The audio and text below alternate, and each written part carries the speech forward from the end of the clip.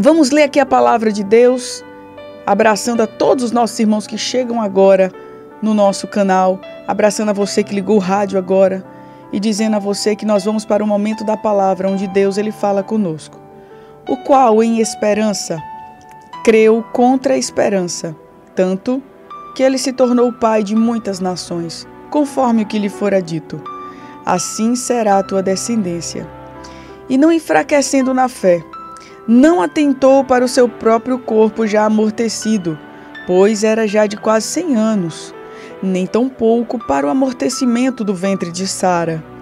E não duvidou da promessa de Deus por incredulidade, mas foi fortificado na fé, dando glória a Deus, e estando certíssimo, certíssimo, certíssimo, certíssimo, certíssimo de que o que ele tinha prometido também era poderoso para o fazer. Amado, amada, sem fé é impossível agradar a Deus. Você já parou para pensar que você pode estar desagradando ao Senhor nesses últimos dias com a tua incredulidade ou com a tua falta de fé, com a ausência de esperança? Você já parou que você, além de estar desagradando, já parou para pensar que além de você estar desagradando a Deus, você pode também estar atrapalhando o teu processo de caminhada para a vitória com a tua incredulidade? Você pode estar se rendendo às dificuldades, você pode estar desanimando por conta da tua postura que você resolveu adotar porque você não está conseguindo enxergar o que Deus tem para você? E por não conseguir enxergar, porque nós gostamos de enxergar, nós gostamos de sentir, nós gostamos de tocar, nós gostamos de materializar as coisas. E quando nós não conseguimos materializar a nossa fé, porque materializar a fé é impossível, nós nos perdemos na caminhada, nós falhamos naquilo que Deus tem para nós. A palavra de Deus está falando aqui de um homem que ele creu contra a esperança. Porque Deus havia lhe prometido que a sua descendência seria numerosa como as estrelas do céu. Mas Abraão, ele ele sabia da sua velhice. E ainda assim a Bíblia diz que ele não olhou para o seu corpo já amortecido, ou já desgastado, ou já velho mesmo, porque ele já tinha quase 100 anos. Também ele não olhou para Sara no amortecimento do seu ventre, como diz a palavra de Deus. Ele também não não parou para para ficar querendo materializar o que Deus havia dito. Ele não duvidou da promessa de Deus. Escuta aqui uma coisa para você. Que Deus manda falar para que você levante sua cabeça e faça assim como Abraão fez, creia contra a esperança. Você sabe o que é crer contra a esperança? É você crer quando você não tem motivos para crer. E isso a Bíblia fala que é fé. A fé é o firme fundamento das coisas que se esperam e a prova das coisas que não se veem. Está lá em Hebreus no capítulo 11 e o versículo de número 1. Eu pergunto o que é que Abraão estava vendo? Ele estava vendo um casal de idosos. Abraão estava vendo ele com 99 anos, ele e Sara, numa mesma condição. Mas o que ele estava vendo pela fé? Eu estou fazendo aqui duas perguntas. Abraão, ele estava vendo materialmente, ele estava vendo espiritualmente.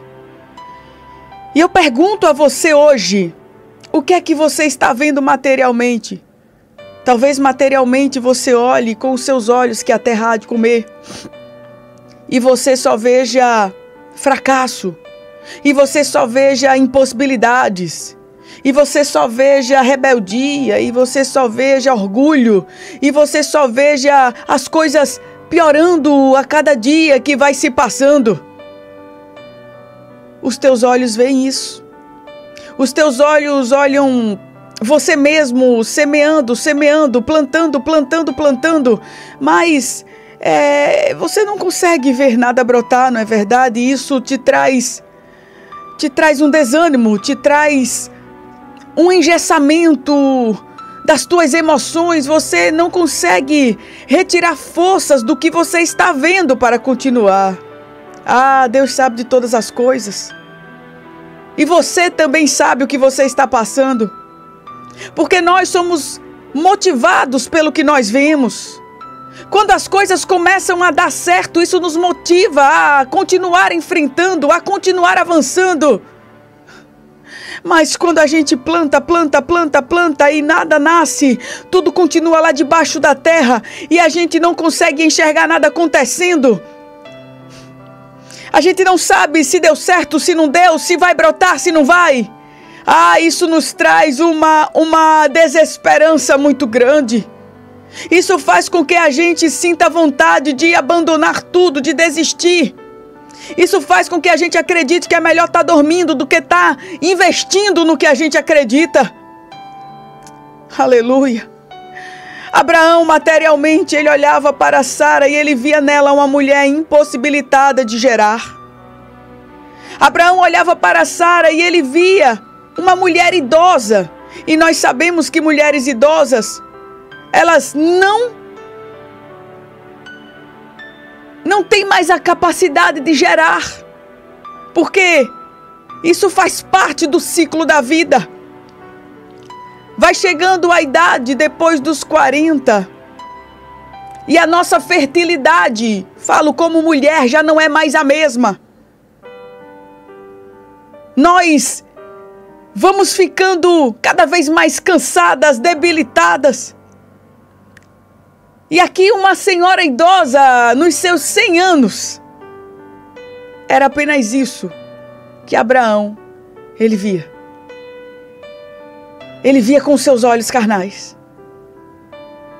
Eu não sei o que você está vendo com seus olhos carnais. Eu não sei o que você tem enxergado nesses últimos dias, isto é, se você decidiu olhar apenas com seus olhos carnais.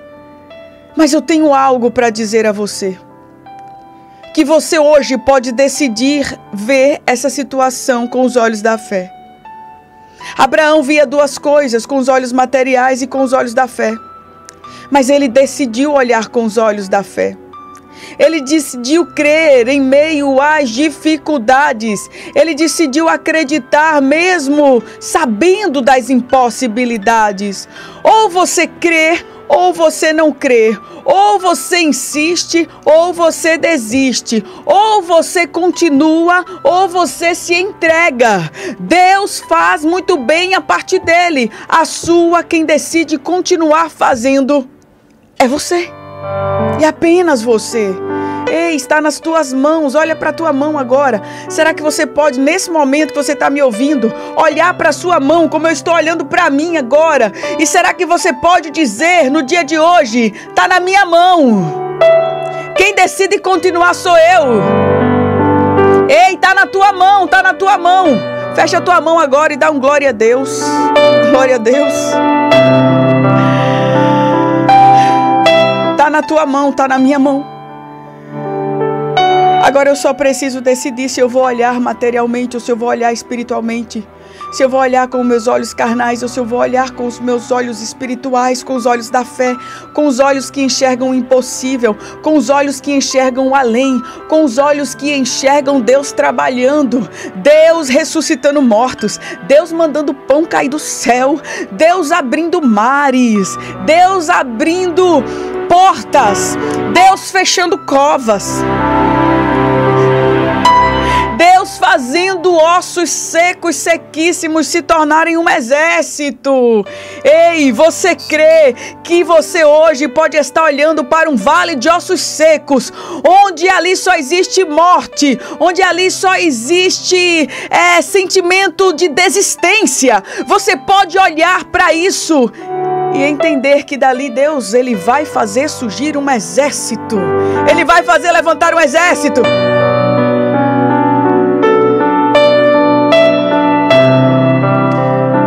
Hoje alguém acordou desanimado. E tem muita gente aqui, muita, muita gente.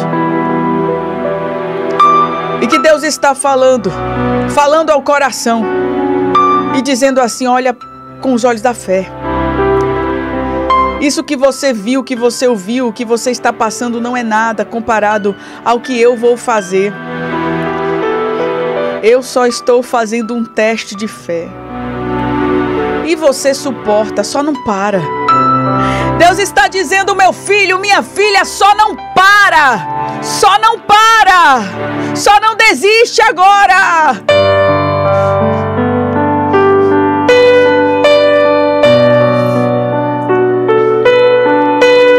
Abacuque 3, 17.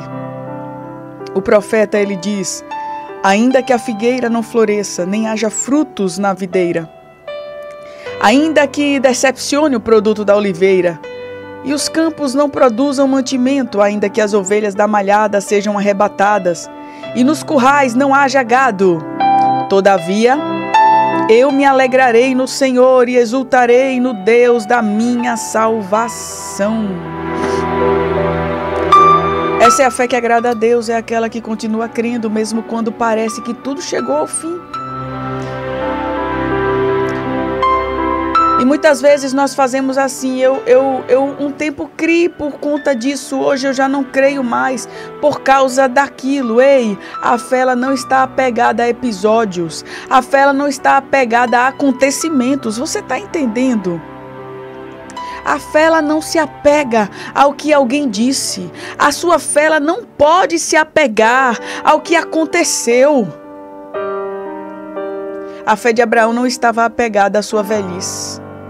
A fé de Abraão não estava apegada a, ao tempo que havia se passado. Não. A fé de Abraão estava em Deus. E é uma fé que não enfraquece. Versículo 19 diz: e não enfraquecendo na fé. Ele continuou. E há momentos que nós enfraquecemos. E a gente não pode deixar a fraqueza nos dominar. Porque um crente que está fraco é um crente que está fadado à queda. Então, amado, amada do Senhor, se teve algo nesses últimos dias que te fez enfraquecer, é hora de você se levantar em Deus e buscar forças. Para você não desistir.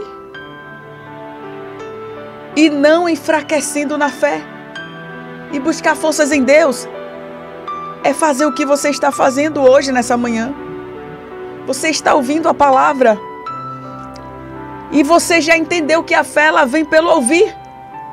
E ouvir a palavra de Deus. Esse ouvir, ele trata-se não de algo simples como ouvir com os ouvidos. Não se trata apenas da audição humana. Não. Esse ouvir também se trata de praticar, de colocar em prática aquilo que a gente ouve. Então é hora de você se levantar se a tua fé tem enfraquecido nesses últimos dias. É momento de você se reerguer. É momento de você dizer: Senhor, eu não quero me entregar a esse sentimento mal que desagrada o teu coração e que, te, e que atrapalha a minha jornada, a minha caminhada. Outra coisa que a Bíblia nos fala aqui no versículo 20 sobre a fé de Abraão.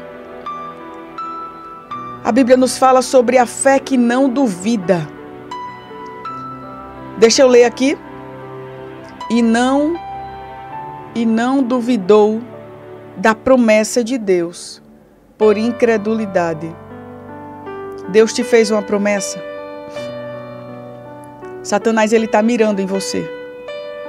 Se você está debaixo da promessa do Senhor, o inimigo da tua alma está mirando em você. E a dúvida é uma arma muito usada pelo inimigo. Ele pergunta todos os dias: será que foi isso mesmo que Deus disse? Imagino que você já pode ter se perguntado isso. Imagino que essas dúvidas já chegaram à tua cabeça e de alguma forma tentaram fazer você ficar confundido. E quem sabe você tem caído nessa arapuca do diabo. Será? Será que é isso mesmo que Deus tem para mim? Será que foi desse jeito mesmo que Deus falou? Será que eu sou mesmo escolhida? Será que eu devo mesmo continuar com essa mesma fé? Tudo que o diabo quer. Mas eu quero repetir tudo que o diabo quer. É que você duvide da promessa de Deus. Você entendeu que essa dúvida, ela tem que ser expulsa da tua vida? Você já entendeu que você precisa continuar crendo mesmo que as circunstâncias, que os acontecimentos, que os acontecimentos eles digam a você que você não deveria continuar crendo? Amado, amada do Senhor, todos os dias peça sabedoria a Deus. Diga nesse momento: Senhor, me dá sabedoria. Senhor, me dá sabedoria. Tiago 1 e 5 diz: Se algum de vós tem falta de sabedoria, peça a Deus, que a todos Ele dá liberalmente. E não lance em rosto, e ser-lhe-á dada. Peça, porém, essa sabedoria com fé acreditando, crendo que Deus ele dá, em nada duvidando, e eu quero frisar aqui, em nada duvidando. Você precisa confiar que todas as vezes que você pede sabedoria a Deus, Deus ele dá. Porque o que duvida, eu continuo lendo aqui Tiago 1,5. Porque o que duvida, agora estou no 6, é semelhante à onda do mar que é levada pelo vento e lançada de uma para outra parte. Não pense tal homem que receberá do Senhor alguma coisa. Quando você pede ao Senhor essa sabedoria, em dúvida se realmente Ele vai dar, não pense que você vai receber, não, viu? Não pense que você vai receber a Bíblia que está dizendo aqui. Você está pedindo algo a Deus sem convicção de que ele tem para dar a você. Você está pedindo como alguém que pede a um tirano, alguém que lhe odeia, alguém que não se importa com você. Todas as vezes que você for pedir sabedoria a Deus, peça.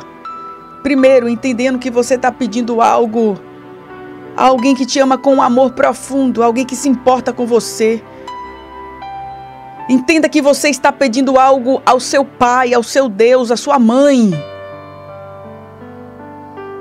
Segundo, entenda também que sabedoria Deus ele tem ilimitada.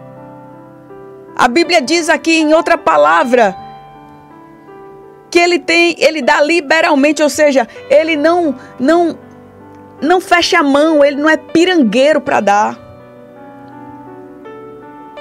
Ele não retém, ele não fica. Ah, eu vou dar só um pouquinho, porque eu só vou dar a Clarice um pouquinho, senão vai faltar para o pastor Júnior. Aí eu vou dar a Maria só um pouquinho, senão vai faltar para José. Não! Ele diz assim: a sabedoria, a sabedoria eu dou liberalmente. Eu não sou pirangueiro, eu tenho para dar, apenas confia. Pede acreditando, pede em nada duvidando. Então, meu amado, minha amada, tem uma coisa que você tem que pedir a Deus quando você estiver orando. Quando você estiver em meio a uma problemática aí na tua vida em que você não sabe como agir, peça a Deus com fé diga: Senhor, esse negócio eu não sei decidir sozinho, eu não sei avançar sozinha, me dá sabedoria, me dá mais um pouco, Deus, porque me está faltando. Sabedoria para confiar que as promessas que Deus fez para você elas independem dos acontecimentos, elas independem das circunstâncias. Se Deus prometeu a você que Ele vai fazer, Ele vai fazer e ponto final. Talvez alguém se levantou e disse nunca. Nunca que isso vai acontecer. Talvez alguém chegou para você e disse é impossível. A tua fé não depende do que Zé Buchudo falou. A tua fé não depende de, do que aquele teu, teu, teu vizinho que te odeia falou. A tua fé não depende do que alguém lá na tua igreja falou. A tua fé não depende também do que você tem visto nesses últimos dias. A fé de Abraão não dependia do ventre amortecido de Sara. Deus disse a ele que a descendência dele seria abençoada e numerosa e poderosa. Abraão simplesmente creu. Ele creu contra a circunstância. Ele creu contra a esperança. Ele foi firme, ele não duvidou da promessa. Essa é a fé que agrada a Deus. Essa é a fé que Deus ele te ordena ter. Hoje, ele te permitiu ouvir essa palavra para que você conserte o seu caminho em direção à sua vitória, para que você ajuste a tua jornada de fé. Quantas vezes você se pegou oscilando para um lado para o outro? Quem sabe nesses últimos dias algo te fez crer que era impossível? Deus está dizendo: não duvide da promessa. Não duvide da promessa. Olha que coisa linda, o versículo 21, eu li várias vezes essa frase, essa esta palavra e estando certíssimo. Abraão para quem chegou agora aqui, eu estou lendo em Romanos, no capítulo 4, lido 18 ao 21. Estamos falando sobre a fé que agrada a Deus, a fé de Abraão. Quando foi feita uma promessa sobre a sua descendência, sobre o seu filho Isaque. Aí a palavra de Deus diz agora no versículo 21, estando plenamente convicto, ou ele estava convencido Aleluia! E estando certíssimo, e estando certíssimo, e estando certíssimo. Amado, amada, quando a gente está convencido de algo, nada, nem ninguém consegue nos roubar a paz, nos roubar o nosso sorriso. Se o teu sorriso foi embora, se a tua paz foi embora com a circunstância, se você está querendo desistir, tem alguma coisa errada aí. Está precisando de um conserto. Está precisando de um ajuste de Deus. Eu espero que esse ajuste de Deus ele não seja tão doloroso. E essa palavra é para mim também. Se você desanimou por conta de um acontecimento, está precisando de um ajuste de Deus. E Deus é bom em apertar parafuso. Deus é bom em pegar barro e apertar.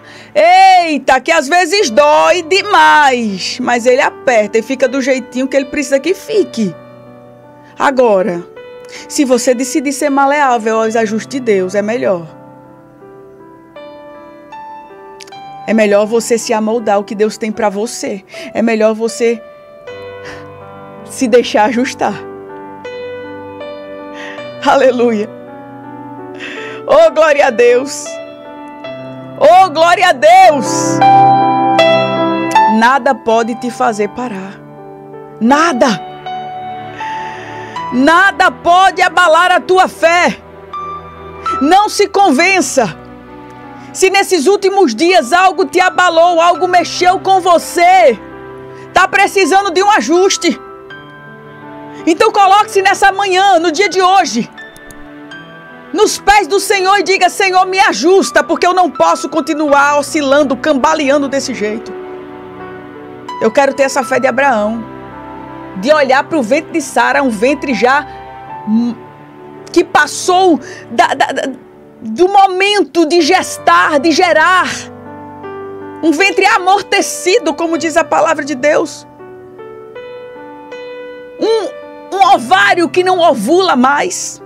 Um útero que não tem condições mais de, de, de, de, ser um lugar, um lugar propício para se desenvolver uma vida.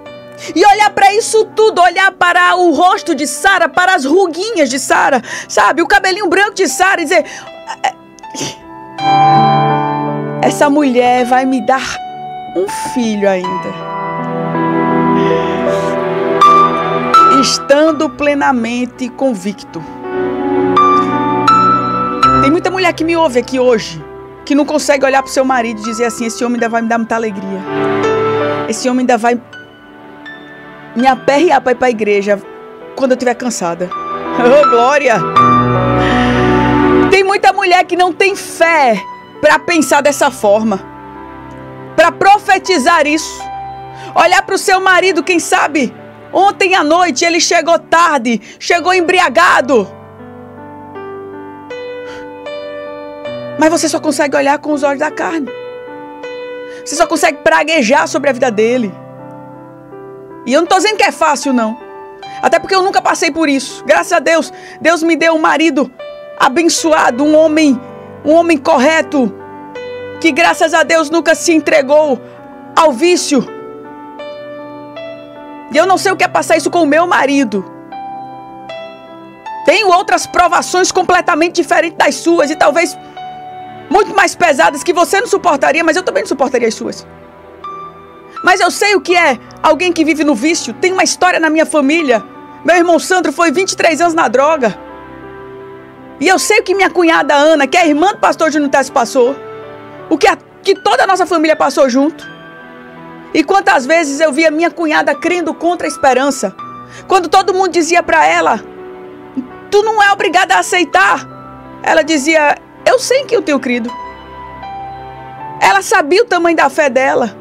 E eu não estou dizendo também para todo mundo que está nessa situação continuar, porque cada caso é um caso. Mas eu estou dizendo que ela conseguiu enxergar além do que os olhos humanos dela mostravam que ela deveria enxergar. E hoje ela está contando vitória, hoje ela tem um homem que é instrumento de bênçãos dentro da sua casa. Eu imagino que muitas vezes ela olhava ele voltando de casa cheio de crack. E ela olhava para ele, voltando para casa, cheio de crack, ela olhava para ele e dizia assim: "Um dia eu estarei com ele na igreja com as nossas filhas adorando a Jesus. Um dia eu verei ele com o pastor Técio sentado lá no púlpito, adorando ao Senhor, cantando, porque eu sei que ele foi chamado pelo Senhor." Você entendeu que você precisa crer contra a esperança? Você entendeu que muitas vezes você vai ter que agir como um louco? Diante do olhar da sociedade, porque a Bíblia diz que o Evangelho é loucura para aqueles que não têm salvação. Você entendeu que algumas vezes você vai olhar para uma situação que não tem nada a ver com aquilo que você está falando, mas você vai permanecer falando, profetizando e crendo que Deus tem solução para aquele negócio. Eu olho aqui para essa palavra e eu vejo Abraão estando certíssimo. Ele sabia quem era o Deus dele. Ele sabia o poder que Deus tinha para fazer o que ele não podia fazer.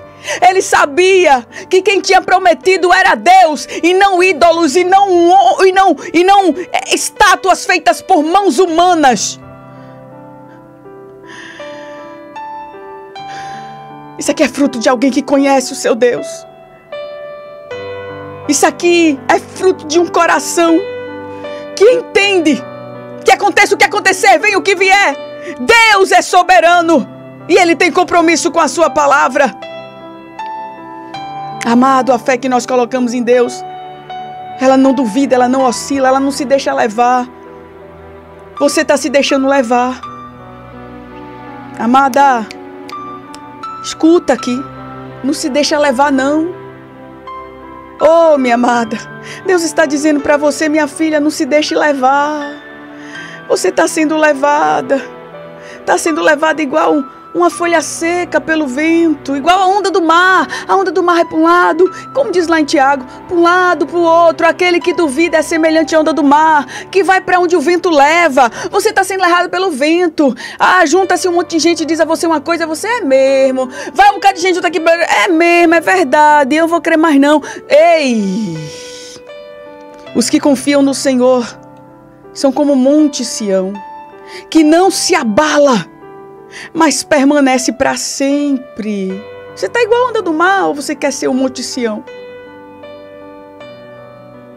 Paulo declarou lá em 2 Timóteo, no capítulo 1, versículo de número 12: Porque eu sei em quem eu tenho crido, e eu estou certo de que Ele é poderoso. Aleluia. Aleluia. Conheça a Deus um pouco mais a cada dia. Busque ao Senhor um pouco mais a cada dia. Quanto mais você conhece a Deus, mais você o ama e mais você confia nele. Você está me ouvindo aqui hoje? E a tua fé pode estar bem pequenininha. Ou tua fé pode ser quase inexistente, porque você tem posto a tua fé num Deus distante. Escuta isso aqui, que isso aqui é muito importante num Deus que você não conhece, num Deus que você não tem experiência com Ele, porque você não tem buscado essa experiência. A tua fé está tá oscilando, porque você você acredita num Deus que você só ouve falar dele nos domingos na igreja, quando você vai. Num Deus que você não tem relacionamento com ele. Você não é íntima dele. Passam-se os dias e você não dedica tempo para conhecê-lo e para estar na presença dele. É por isso que a tua fé ela não está desenvolvendo. E é por isso que você fica aí desesperado. É por isso que você fica igual um doido, igual uma doida, querendo resolver os seus problemas do seu jeito, no grito, na faca, no murro, ah, no discurso cansativo. E você vai ficar aí, vai ficar aí se enrolando, arrumando inimigo, arrumando problema e dizendo que é de Deus. Ei, não coloque Deus nas suas tretas, não.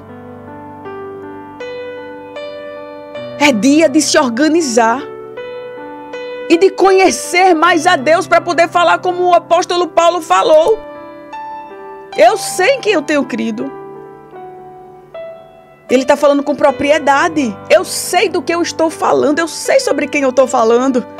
Eu não estou falando de um Deus que minha mãe contou lá quando eu era criança, não. Eu não estou falando de um Deus que o pastor estava falando dele lá na igreja no domingo, não. Eu estou falando de um Deus que eu tenho relacionamento com ele. Que todos os dias eu acordo e eu falo com ele, ele fala comigo. Eu estou falando de um Deus que eu paro todos os dias para ouvir ele falar comigo na Rádio Novas de Paz. Eu paro para ler um livro sobre ele, para ler a Bíblia. Eu paro para me ajoelhar, fecho a porta do meu quarto como ordena a palavra e eu dedico um tempo do meu dia para deixar ele me tocar, para deixar ele renovar as minhas forças, para deixar ele mostrar o caminho para mim, senão eu vou ficar igual uma barata, intoxicada com veneno, correndo para um lado para o outro, batendo a testa em todo canto. Eu paro claro para ele, eu tenho intimidade, eu tô falando de um Deus que eu conheço. Paulo ele fala com essa propriedade.